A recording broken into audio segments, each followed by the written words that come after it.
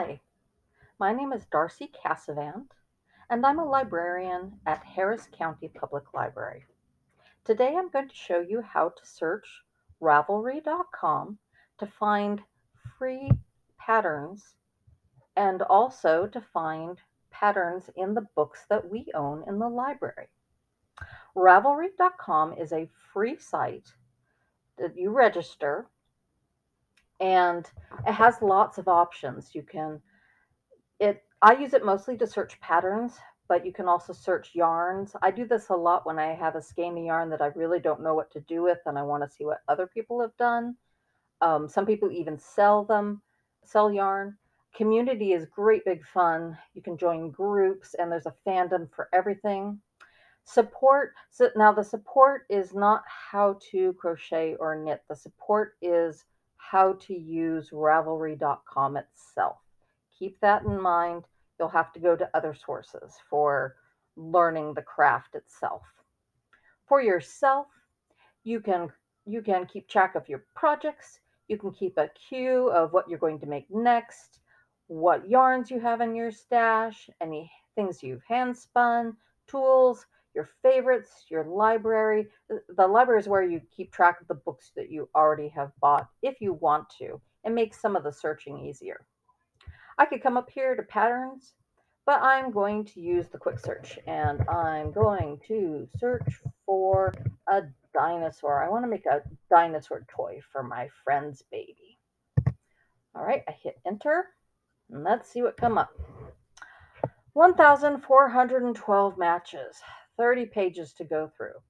A little more than I want to do, even though I really like looking through the site. I'm going to narrow my search like we do. I think I want to make a T-Rex. So I type that in, I hit enter, 140 matches. Little three pages to look through, little more, more manageable, but um, there's some pieces of clothing that I don't want to do, I want to make a toy. So I'm going to come over here and I'm going to filter my search. I'm going to come down here to category and I'm going to click on toys and hobbies. There are some subcategories, but I'm just going to click it all because I don't know what I'm going to get. 98, three pages, much more manageable. I bet we can do better. I'm going to come down here to availability. I'm going to click free. These are patterns that are free either through uh, that, that will take you to blogs or they'll be um, downloaded, pre formatted patterns that Ravelry hosts. Um, same thing with purchase online if it's hosted on Ravelry. Purchase online will usually mean something that you will get from an Etsy shop or um, a Ravelry shop itself and this is a really great way to support small businesses if you want to. Purchase and print. This simply means that the pattern is in a book.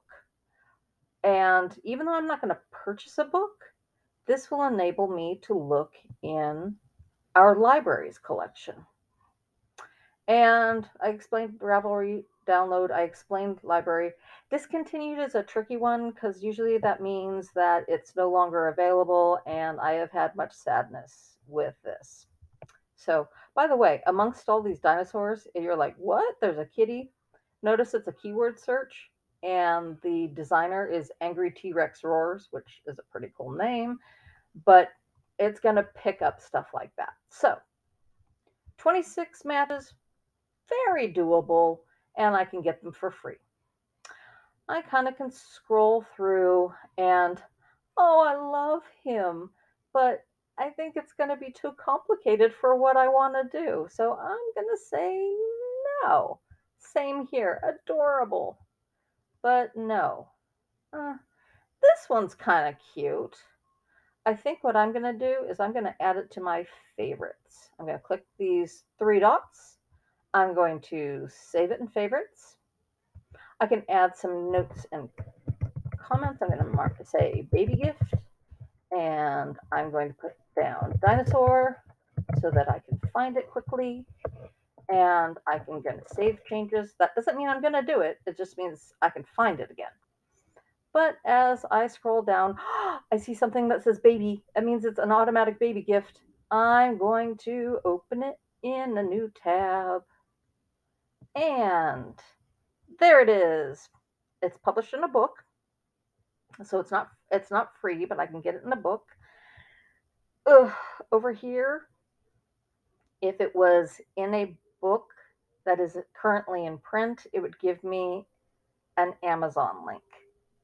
It's not, which probably means it's out of print. But I see here that I can search your local libraries. I'm going to click on this link. This takes me to a site called WorldCat. This is a this shows me the holdings of other libraries internationally. And it's one of the ways to let me know if I can get a book through our interlibrary loan service. So I'm looking through, and uh, it looks like a thousand miles for each library. I, I love my friend. I'm not going to drive that far. So, what I'm going to do instead is I'm going to copy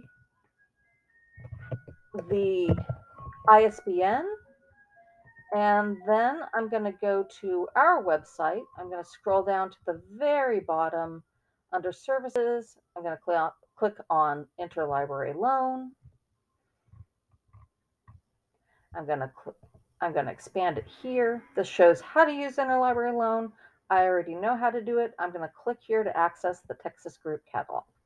Now, the reason why we go through our website to do the requesting rather than the free site that we were just on is because this is this is the database that's actually connected to our service so that we can get the book. So I'm going to paste the ISBN number that I just copied and I'm going to search the Texas Group catalog. Uh, it gave me no results. You know what? Let's expand this search to libraries worldwide because I know that there are three libraries that own it. Let's search again. There it is. There it is. Let me click on the title. I see the three libraries that owned it, just like I saw on the free WorldCat page. And so I can come over here and I can request the item if I like. It takes four to six weeks. I may not want to do that. So I am going to come back to the Ravelry search and I'm going to look some more. Now I love this one because it looks like I can make it up really cute. I mean, this one is cute, but it's got all the scales on the back. This one doesn't. No color changes, no additions. It looks really easy to do. I'm going to open this up in another link. And here it is. Very cute. I can come over here to where it says nine projects. And the cool thing about that is I can see how other people have done it. Some people added stripes. Um, you can see how fancy or simple people did it, the colors they used. Love that. So it's in a book. It's not free. It doesn't have a link. And it's in a book called Dinosaur Amigurumi. I can purchase this book on Amazon if I want to don't want to. I'm going to search my local library. So I'm going to click on this again. Once again, it's going to take me to the free WorldCat site. And hey, it looks like Harris County Public Library owns it. So I'm going to click on the link. By the way, do not worry about this library administration. It doesn't matter what branch you are, it simply refers to that's where our ILL service, if we have it, you we can get the book anywhere to you. So I'm going to click on that. It's going to take me to the old catalog. And I see that we do have the book in print. The search will only show me books on print. I'm going to click on the title, see where we are. Looks like we only own one copy and it's been checked out a while, so it's probably not going to meet my deadline. What I do notice is the author's name is fairly unique. I'm going to click on that just to see what comes up. Ooh, we have a copy on overdrive. I'm so excited. So I can place a hold if I like here, or I can go directly to hcpl.overdrive.com and I can go here. I'm going to put the title of the book. For Amigurumi. And it takes me to the book. And the book's checked out. I'm going to click on it anyway, just to kind of see what it's about. It explains what the term amigurumi means. And I can place my hold about two weeks, still manageable. I'm going to read an example just in case. Um, one of the reasons why I do this a lot with craft books is I can kind of see what other things look like and I can see if I understand terminology. So I know if this is going to be within my skill set. So I can check that out. Let me go back to the Ravelry page for the project from this book. Up here, it's already in my favorites. Here it could say create project. It's uh, already in my project, but let me click there. I could create a new project with that, or I've already made it. So I'm going to go to the project page on my project page. Here he is. I renamed it T-Rex Baby Gift.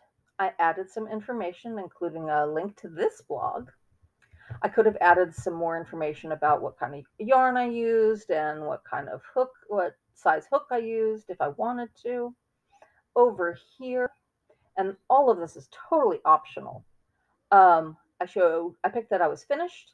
I chose that I really liked it as a pattern, the date that I started it, the date that I finished. I'm going to save changes. I'm going to give it an overall rating of five. The clarity rating is four. And I'm going to put piece of cake. So what that does is that helps other people who are searching for patterns. That gives them a little more information by somebody who has actually done it. The other thing I really like to do is photos, because I love to look through photos, photos of people, what people have done. And it gives you a lot of options. You can upload it from your computer. You can also do that from a mobile device.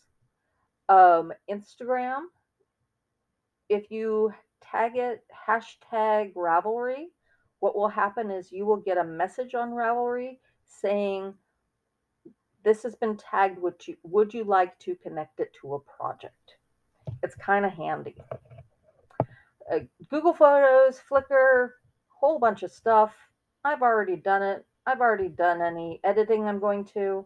I'm finished with photos. So this project, this baby gift, is done. Um, I didn't use safety eyes. I embroidered them on because he's a baby. Um, I also did some stitching so you can see that he can move his little his little legs. And I think that's going to make a really cute baby gift. I'm kind of excited. So I hope this has been helpful to help you find patterns either for free or in our library. And thank you for watching. Happy crafting!